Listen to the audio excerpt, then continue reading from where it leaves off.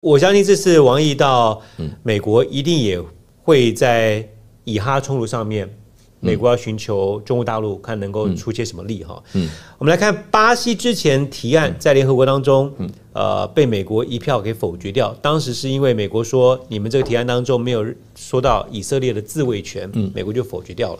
后来美国的提案呢，遭到了中中俄还有阿拉伯联合大公国，它代表中东的国家哈。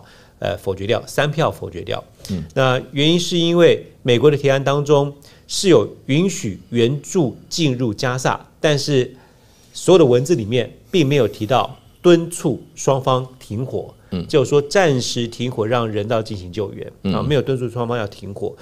那对于这样的一个否决掉这个草案，俄国批评最直接，我看他的。直接讲说，美国就不希望联合国对以色列的军事行动有任何的影响，如此才能够巩固美国在这个地区的影响力。嗯，大使，你怎么看这个美国的提案当中并没有敦促双方停火，然后这个又被否决掉在联合国？因为以色列还没有同意要停火。以色列，对，以色，OK，好，以色列还没有要停。对。嗯，所以美国的文字就不能这样写。我认为现在停火对美国是有利的。嗯，因为这件事情再拖下去，它的外溢效果把美国就拖进去了。美国现在最怕的就是，呃，伊朗发动它的这些哈所谓的它的卫星，嗯，也就 proxy，proxy 就是它的代理人啊，代理人直接摄入。嗯，现在还没有大规模的摄入啦，那就是这个真主党，哎，叙利亚的。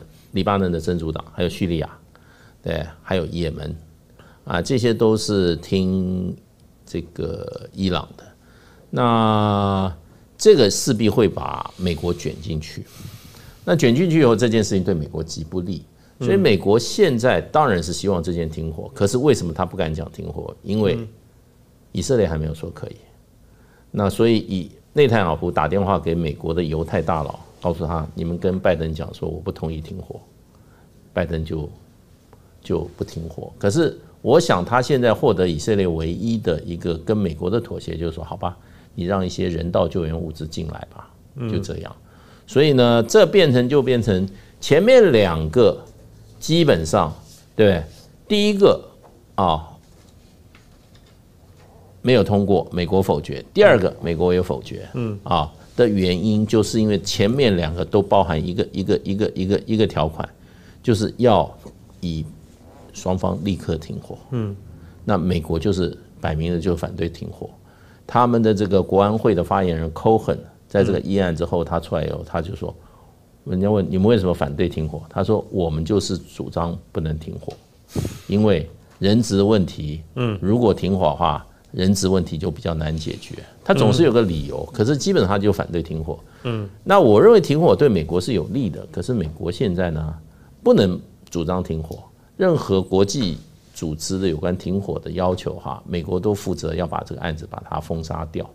简单来讲，美国被以色列绑架了。对对，联合国完全无能为力。你有否决权，你就无能为力啊。因为它的设计，常任理事国也可以一票否决掉提案，所以基本上在。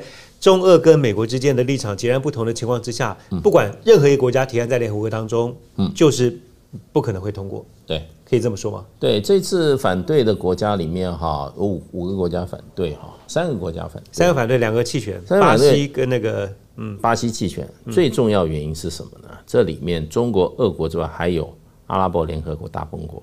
嗯，它是因为里面只有十五个常任理事国，呃，十五个安理会有十五个。会员国嘛，五个常任理事国，其他就是一般会员。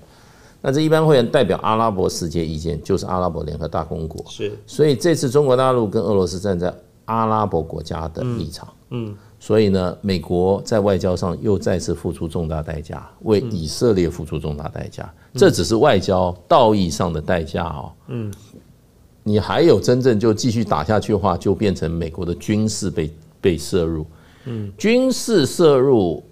问题不在黎巴嫩，不在谁，不在这叙利亚，问题就在伊朗。嗯，那美国在伊朗如果冲突的话，伊朗也可以躲在外面。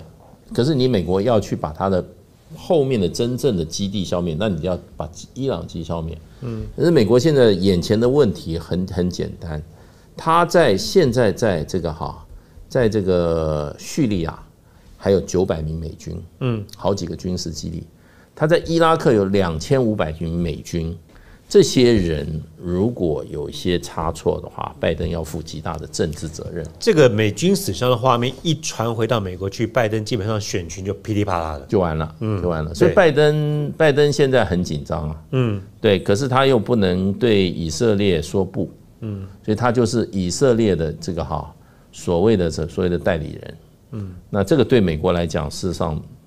这个是美国比较难的一个处境哎，观众朋友，你看新闻啊，你特别留意一下，因为你可以从文字当中很清楚知道这个他的立场是如何。因为像我们刚刚提到的，这次美国的提案遭到了中俄还有一个阿拉伯联合大公国代表的是阿拉伯世界的意见的声音，他也是否决掉了。但我自己在看新闻的时候，很多就直接讲中俄否决。美国提案，嗯，他把阿拉伯联合大公国特别就没有没有列上去，是否决票。对，他的报道就是呈现出来是中俄跟美国对干，嗯，所以这个这个媒体就比较有一些立场，所以大家可以看仔细一些。不过我相信王毅到美国之前呢，第一次提到说以色列对于哈马斯有自卫权这个事情，嗯代表说北京他的态度比较有转圜的空间。只要你们能够愿意停火的话，其实在文字怎么样做陈述，中方是保持着比较开放的，嗯。就像大使所讲的，现在是华盛顿白宫感觉是被以色列架着，没有办法去做回旋。对，因为以色列没有说要停。在这样的前提之下，联合国是一点皮条都没有。嗯，因为你不管哪一个国家提案，只要有常任理事国一票就给否决掉了。既然对联合国无法做期待，那对于可能出现的这件事情，能有些期待吗？很难了，也很难，很难了。其实。其实美国扮演目前在以巴以阿中途的扮演的角色的话，不管对俄罗斯来讲，对中国大陆来讲，都是一个战略机遇啊！你这是一个进一步削弱美国力量的一个机会啊！我们今天从战略利益来讲，我们不要把这些什么国际国际的道义啊、国际的正义啊放在一边，纯就这件事发生来讲的话，你像俄罗斯老神在在啊，对不对？那其实对中国来讲也是一个战略战略机遇啊。嗯，你美国卷入一个非常麻烦的一个冲突里面去。嗯，而且呢，如果外移的话，美国要付出的代价是极大的。嗯，这个代价远大于在俄乌中间的冲突。